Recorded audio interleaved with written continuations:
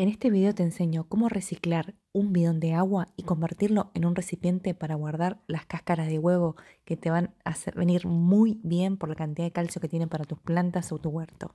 Agarras el huevo, cada vez que vas a cocinar, lo tiras y guardas la cáscara de huevo que no es basura, la tiras ahí tipo un embudito y después dejas que se seque, la trituras y te queda toda juntita para tus plantas. Maravilloso.